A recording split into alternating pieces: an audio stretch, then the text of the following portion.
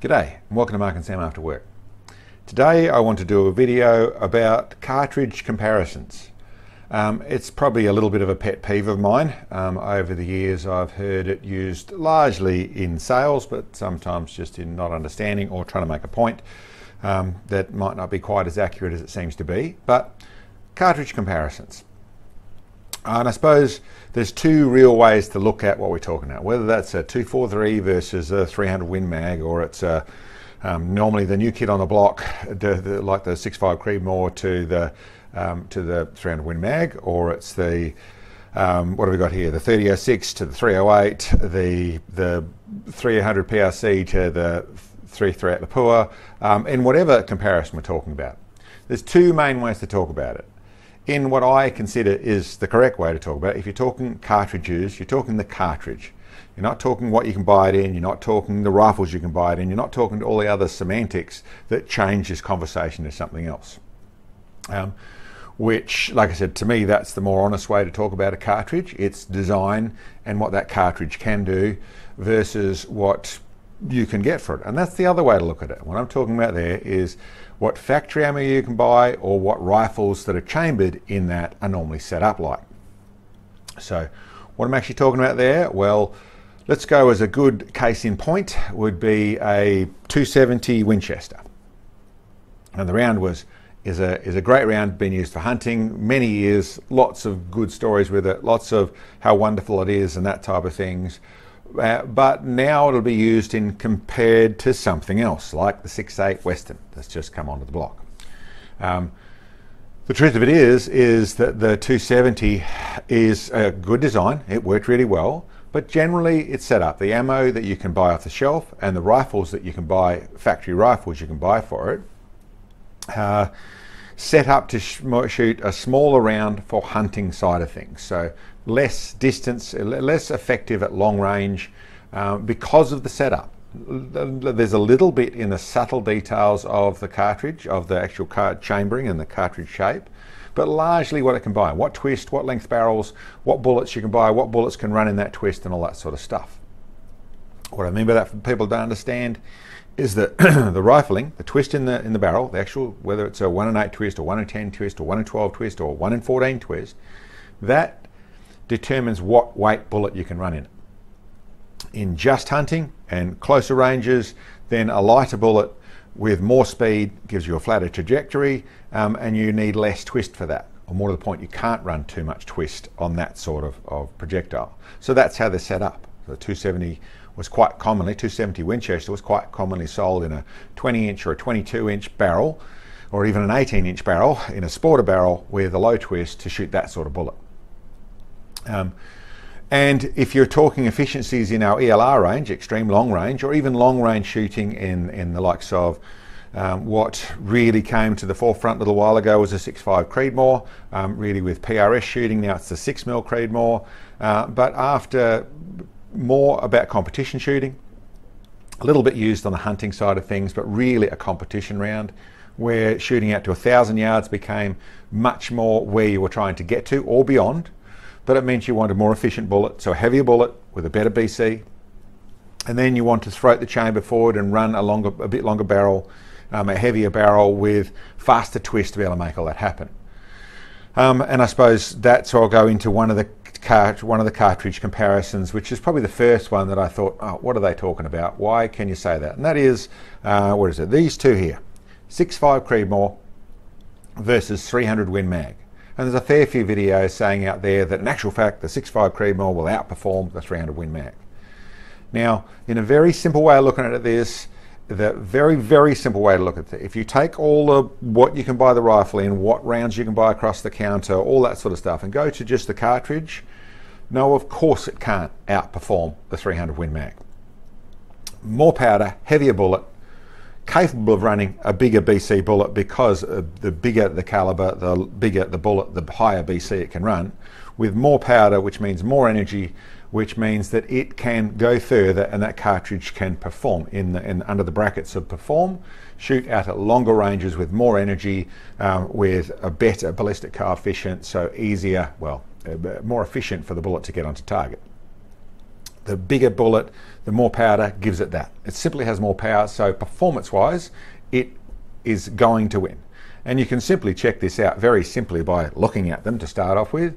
And if you haven't got there and you're listening to this that sort of conversation, is go and look up Wikipedia or look in your loading manual or look where it is, and you'll see that your Creedmoor is roughly going to be running somewhere between 40 and 45 grains of powder, and your 300 Win Mag is going to be roughly running somewhere between your 70 and 80 grains of powder. So almost twice as much.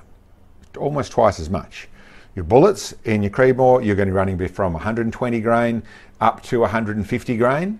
So in a 6.5 and the ballistic coefficients that are according to that, in your 300 Win Mag, you might be down as low as 150, but really you're running into the 200s and 230s and even 250 grain projectiles.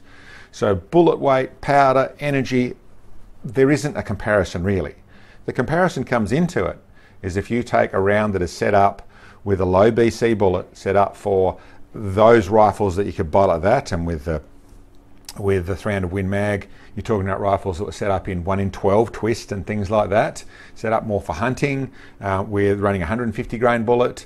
There, and then you compare that bullet, which is very much set up more for your closer to medium range hunting, and compare it with the Creedmoor bullet set up for trying to shoot out a thousand yards with a 140 grain bullet with good jump. As you notice here, the bullet is extended out a long way into that chamber. That's how the rifles were set up.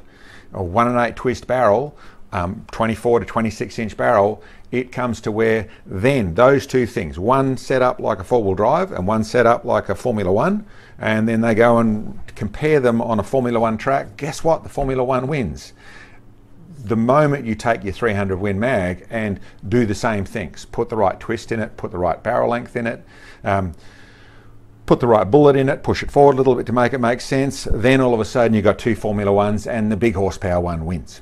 So that's it, and we've sent it through a few places. The the most recent one, um, well, I mentioned the 270 and then the 68. There'll be comparisons there. Um, here we've got the 300 PRC and the 338 Lapua. Same sort of deal. If you look up your powder weights, that you're looking at 10% more powder, 10 to 15% more powder can run in your 338 Lapuas. So it can it runs a 300 grain bullet versus normally around a 200 grain bullet. So if you look at the comparisons there, then when it's set up properly, there is no comparison really. The, three, the 338 is going to push a lot harder. If you come back down to running a less efficient bullet, so a 250 grain bullet in your 338, which has a lower BC. And then you put the most efficient bullet in the 300 PRC with the right twist to do it. And that's the same conversation. The first, a lot of the 300, sorry, the 338 Lapuas were set up with a 1 in 12 twist barrel. Um, that's how a lot of them were set up, which means they couldn't run the 300 grain projectile. So they, it was about what you could buy on the shelf, what you could buy in the rack, and that is what limited it versus to a rifle that was set up properly if you're comparing, if you're actually doing a comparison on both rifles, both cartridges, I should say, set up appropriately, running in rifles set up appropriately, once again, there's very little in the way of a comparison you can actually do. And down at the other end here, this is one from old, a long time ago, but another one of those strange comparisons. And that is the, the, if you look at them, they're completely, they're quite obviously quite different, but that's the 308 versus the 3006. Now, it is a tall, skinny cartridge. In your, it, it, tapers off more and it's thinner in the 3006, but it still can run a decent amount more powder. Um, and your the than the 308. So they run really, they can run the same bullets, and it's much more a case of the 308 came out afterwards, so it must be better. And people who are spruiking the 308, but a little bit also the rifle setup side of things. But once again, a simple logic. It can run more powder, which means it can perform better. It has more horsepower, so it can go further because of that. So I suppose I've got these two just on the end just to show that it is, it's little and big, is what we're talking about. Um, and when I talk about performance, I'm talking about the horsepower, am I talking about the power it can deliver at range, I'm talking about all that side of things. It does not mean better. So if you want to talk about any of these, and that's including the 50 down to the 24, down to the 223 down at the other end there. Um, better, bigger isn't better. More horsepower isn't better. More performance isn't better. It is simply the performance. You put a novice in a Formula One, you've got a wrecked Formula One. So it doesn't work that way. Better doesn't make you go better. It comes down to your combination. It comes down to what you want and that may be the gentle shooting super accurate. And out of this little conversation here, this 223 performs really, really well for almost anyone with the basics of training can perform really well. It's what the 233 does so well because it's still nice and efficient. It's still in the right setup and set up properly, works very well. It doesn't deliver a lot of energy, but way enough for anything in the way of targeting and close range or in the out to 600 yards hunting sort of thing, depending on the on the species and things like that that you're doing that with. Really, I'm more in the hunting side of things, and the reason this performs so well well is there's such little recoil. You can set up in light rifles. Everything works really well for that sort of stuff.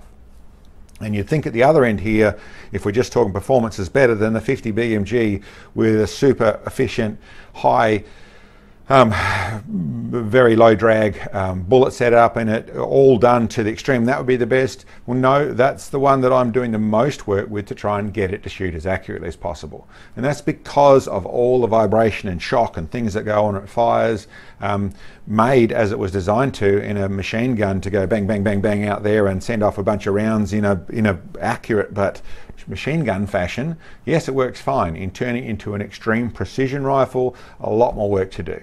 And the same can be said, we've got that comparison over here, but right back down to your 6.5 Creedmoor and your 300 Win Mag.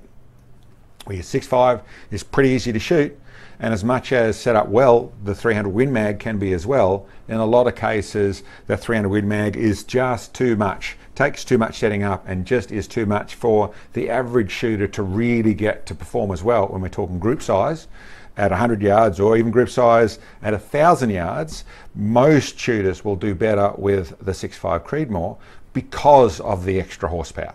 So, like I said, whether that's a, whether that's a top fuel drag car, um, and yeah, you, you've got to be able to drive the damn thing. There's no point having all the horsepower unless you know how to do it. So that's um, that's sort of the, the, the bit I wanted to say. The main, like I said, the pet peeve or the gripe I hear is this comparison thing. If you turn it into what you can buy, this cartridge in what you can buy is ends up outperforming this cartridge in what you can buy, then okay, I can I can be on board with that conversation. But when you simply tell me that a 6.5 Creedmoor will outperform a 300 Win Mag, I've got to say, no, it won't. the, um, the combination, the bullets you're using, the rifle you're using, that might be the case. But if you let them both, if you let the reins go on both of them, the big one's going to charge off out in front. Anyway, guys, that's about what I can tell you. Um, hope you liked the video. Thanks for checking in. We'll catch you next time.